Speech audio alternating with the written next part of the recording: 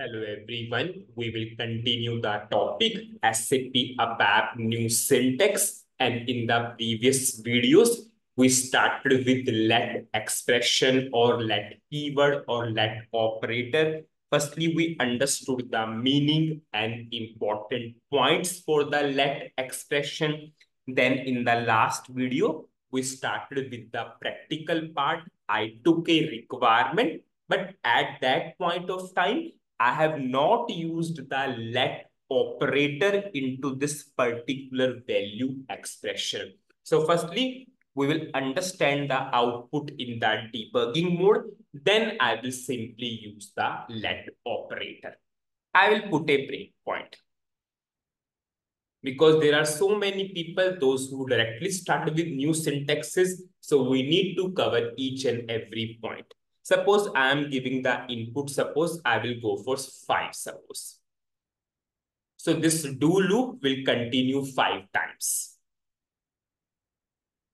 I will go to desktop 3, most preferable desktop. You can see do loop continue five times. Now I am doing F6, I am going inside the loop. So what is psi index 1? Because currently the first record is going on and I have put sy-index plus 10. So now whenever I will do F6, so you can see column 1, column 1, if I will go for this particular work area. In this work area, column 1 will be 1 and the column 2 will be 1 plus 10, 11.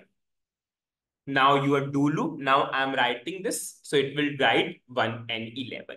Now do loop will continue for next you can see sy-tabix is not changing. In do loop, sy-tabix has no significance.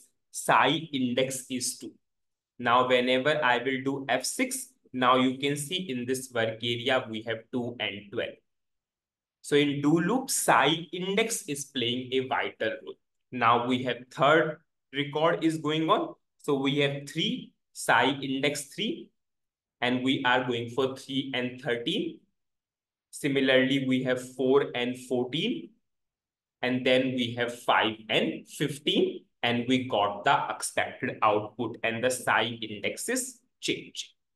Now, in this particular full, I declare this particular variable. I did inline data declaration or explicit, that is a different thing. Now, based upon SAP ABAP new syntax, what SAP is saying, whenever you are using a expression, in that itself, you can declare the variables or field symbols, whatever is required. Suppose we are using this variable x into this particular value expression. So rather than going here, rather than declaring here, here itself I will declare. So how I will declare? This is our value expression. Anyways, you can go by this way or this way. It is totally your wish. Suppose here I am writing let. Now, what the variable you want to declare? I will go for x. And what is the value? Let x is equal to 10. Previously, you declared here. Now, I am declaring inside the value expression itself. Now, whenever you are going for let, you need to use in here. It is very important and is a part of syntax itself. You are using this variable x is equal to 10 value into this particular things, into this particular value expression. So this is the way how you can go for or how you can use let expression or let operator or let keyword. Just see, we are not declaring anything explicitly, explicitly or inline data declaration. That is a different thing. But we are not writing a separate line of code. In the value expression itself, we are doing this. I'm going for syntax check. And now I'm going for activation. And you can see we have same to same output. Suppose if I'm going for the, running the program, if I will suppose give 5, you can see same to same output.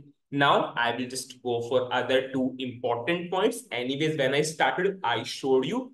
Now, whatever the variable or field symbols you declared using let expression, this you are using into value expression. So you cannot declare outside. Its scope is there itself. Suppose if I want to write this, if I want to write this, because many times people will do. Suppose I want to write x, because people think they assign the value 10 to this x, so they can write this particular x. Now, if I will check the syntax, system is clearly giving the error. The variable x cannot be used here. So the scope you can only only use into this value expression. You can use only use into this expression. Outside this, you cannot use. Now, second thing, people think, okay, now the scope of this x in is up to this value expression only. So what they will do, they will try to declare x.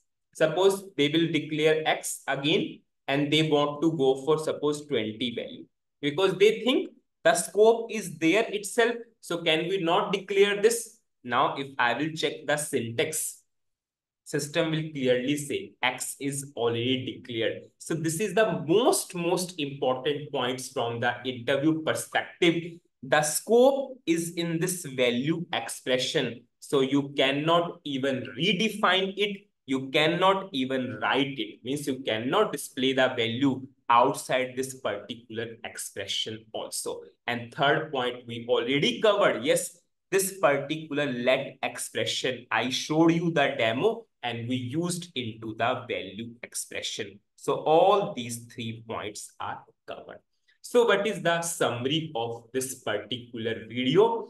In this video, firstly, I showed you the output in the debugging mode. After that, what I did, I commented this inline data declaration. Inside this value expression, how you can declare or field symbols using the let operator or let keyword. The keyword is let. I declare the variable x and equal to 10. You can see the definition is itself this.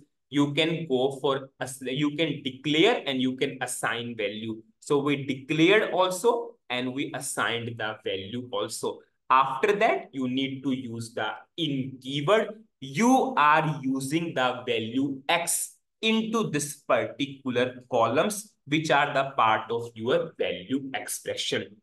After that, we covered, yes, now you are using X into this value expression. So it does not mean that you can display X outside this value expression. No, system will clearly give you the error.